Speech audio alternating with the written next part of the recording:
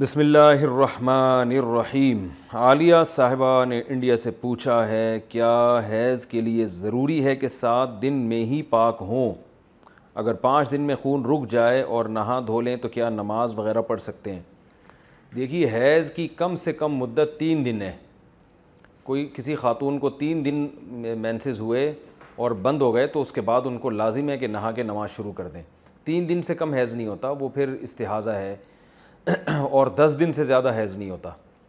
تو سات دن کوئی جو آپ نے مدت بیان کی ہے، یہ درست نہیں ہے۔ کم سے کم تین دن۔ تین دن کے بعد اگر خون بند ہو گیا تو غسل کر کے نہا دھو کے نماز شروع کر دینی چاہیے۔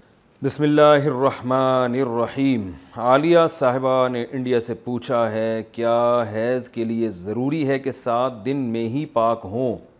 اگر پانچ دن میں خون رک جائے اور نہا دھو لیں تو کیا نماز وغیرہ پڑھ سکتے ہیں؟ دیکھیے حیض کی کم سے کم مدت تین دن ہے۔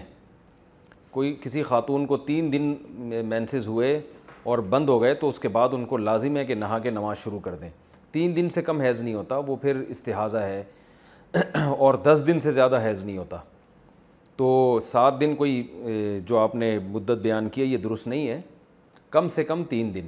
تین دن کے بعد اگر خون بند ہو گیا تو غسل کر کے، نہا دھو کے نماز شروع کر دینی چاہیے۔